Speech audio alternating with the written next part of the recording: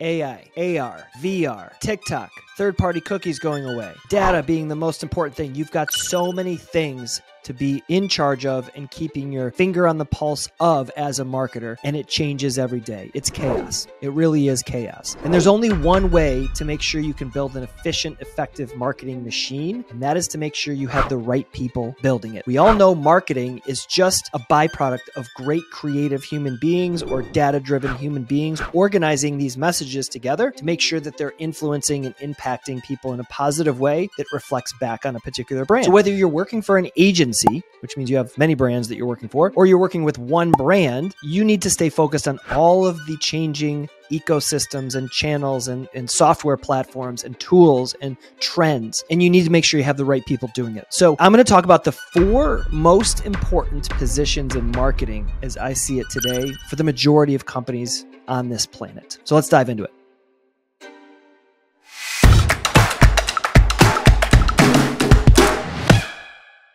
Okay, so the first most important one is a chief marketing officer. Now, many of you watching this video, you might say like, well, we don't we're not a huge company. We don't need a chief marketing officer. But you do. And here's why.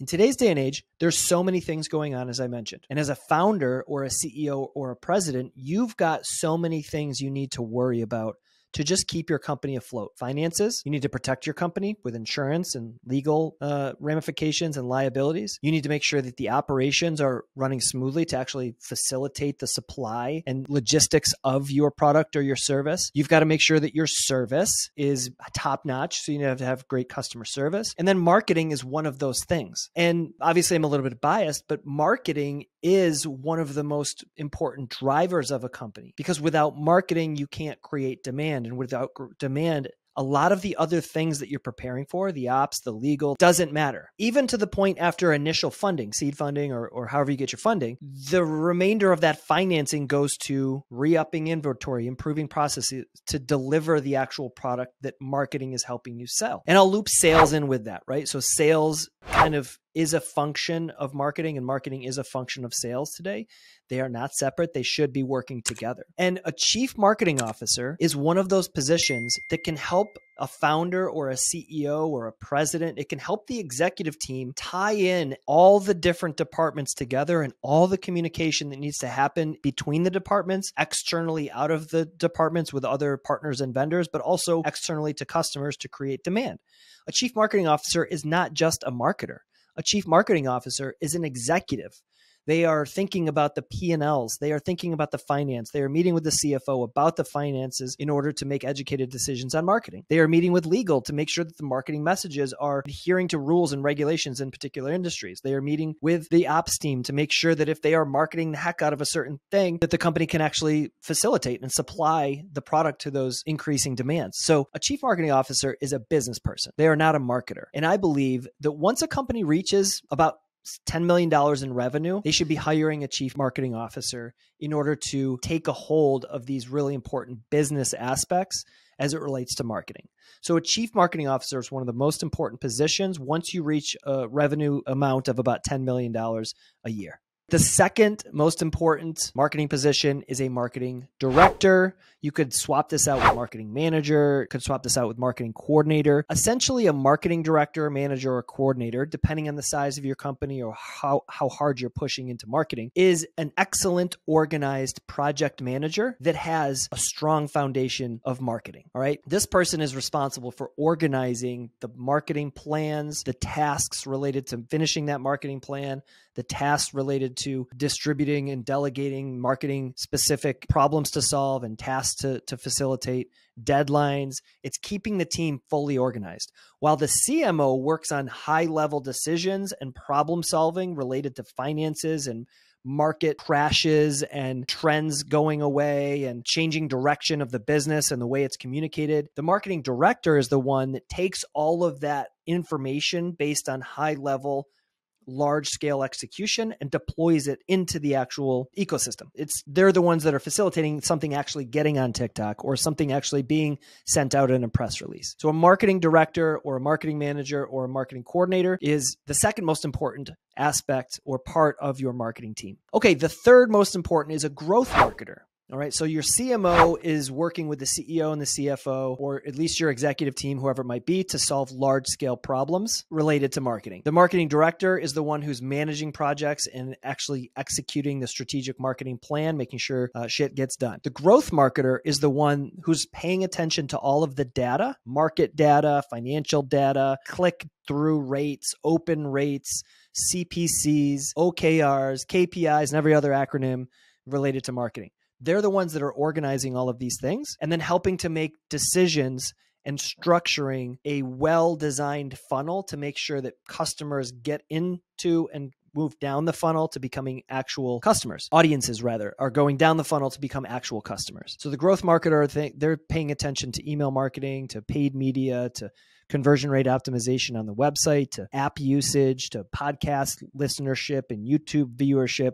They're the ones that are keeping track of all these numbers and then telling a story from those numbers. They're the ones taking the data and saying, here's where we are, here's historically what we've seen, and here's what we need to do with this now. And the fourth most important marketing position is a content creator slash marketing specialist. So, depending on the industry that you're in or what you're trying to sell, your marketing specialist is the one who's actually they're putting out content. They're the ones that are creating and putting out content. Now, if you're in a bit more of a professional style business, you know, B2B maybe, your marketing specialist may be putting out more written content, white papers, PDFs and presentations and things like that. And if you're in the more consumer side of things, a content creator are creating vertical videos and TikTok videos and reels and YouTube shorts and YouTube long form and podcasts and things like that, right? So you again, this is kind of interchangeable. I lean towards 90% of you out there need a content creator, even the B2, B2B ones because a content creator can turn on a camera and do some interviews and ask interesting questions to customers and partners and then use that for to split up into content which can be distributed across all the social media platforms. They can work with the growth marketer to create content for paid media or emails. You know, so so the content creator is the one that's actually making the videos, the photos, and the text that will go out on these different platforms. All right, so this is not an exhaustive list, of course, but these four marketing positions can build a seriously powerful marketing machine if you hire the right people. So I'll leave you with this. I'll leave you with some tips on hiring the right people for each four of those positions because I deal with them every single day. I have them as employees. I interact with them in the different companies that we work with. And here's what makes a great CMO, marketing director, growth marketer, and content creator. Okay, first, a CMO. You want somebody who is a dreamer that can still pull themselves back down to ground as soon as they land on a good idea or good strategy. So you want somebody who has vision. You want somebody who looks into the future and looks at everything and says, you know what? Everything is an opportunity here. Everything should be looked at and thought about. And we should move forward with the ones that are the biggest, most audacious goals until there's a barrier that we cannot go over, around, or through. That's who you want in a CMO.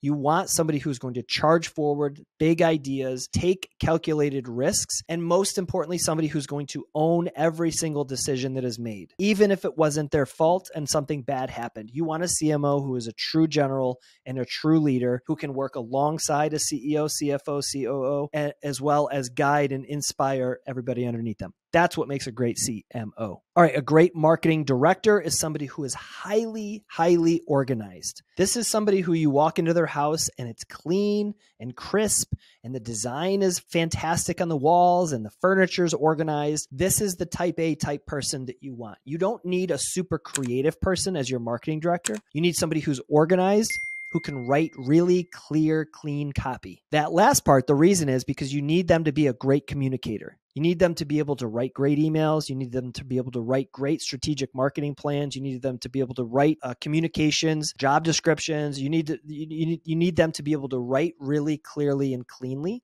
And in some cases, they might fill in actual copy, copywriting, right? So they do have that skill. But priority is they are a great project manager. There's very, they're very organized and they understand the core concepts of marketing, the four P's or the seven P's, whatever you want to, to, to lay out there. But a great project manager that has a deep knowledge of marketing and has seriously, seriously good copywriting. Okay, a great growth marketer. This person is a data freak, but they don't just love numbers, they know what to do with numbers. They know when to look at traffic to a website or open rates and analyze what they should be and make educated decisions on what needs to be done now. For instance, if a particular email campaign starts out with crazy high open rates, like 60, 70%, but the click through rate in the email is really, really low, like 0.5% or something like that, then they know that the headline is attractive and or clickbait. It's either super attractive and the email doesn't follow through or the subject line is total clickbait and they get there and they're like this email's full of shit. This is not what the subject line said. So a growth marketer is going to be able to identify that and then say, "You know what? Our subject lines are great or our subject lines are spammy and we need to make sure that our subject lines are correlating with what's actually in the email and giving that people the value that they expect. And so I suggest we change the email to be X, Y, and Z. That's what a growth marketer is going to do. And they're going to do that for paid media. They're going to do that for the website. They're going to do that for ads. They're going to do that for podcasts and everything else. All right. And a great content marketer. This is a forward thinking, trend chasing creator. This is somebody with the need to create special experiences for people. That's what makes a great content creator. They need to be naturally creative, but they don't need to be creative in every single discipline. They don't need to be an excellent copywriter and an actual excellent editor and an excellent photo editor and an excellent designer. What they need to be able to do is be pretty good at being creative because they can figure out the platforms. You can use Canva to do design or you can use uh, Photoshop to do design or you can use Illustrator to use to do design. You can learn those platforms, but you have to have that creative sense to visually say, you know what, this color looks great with this color. Or that picture doesn't look crisp, it should. Or that video should be in slow motion, it shouldn't be in full fast motion. So you need somebody who's innately creative and they have the need to create and they they have the adaptability to be able to learn platforms relatively quickly. So that's what makes a great content creator. But first, there is the need to create special experiences for people. Okay, that's it. Those are my four top positions. I would recommend any company that hits about $10 million in revenue. And, and most often, companies that hit, let's say, five to $10 million in revenue should really start to think about building this team. Those four positions will build a marketing machine that will lead you to the promised land. If you like this video, make sure you hit like and subscribe. This is my YouTube channel where I talk all about marketing and helping you become a better marketer, helping me become a better marketer, and hopefully leading us all to that chief marketing officer position that we all want or that head marketing position that we all want. So good luck, and we'll see you in the next video.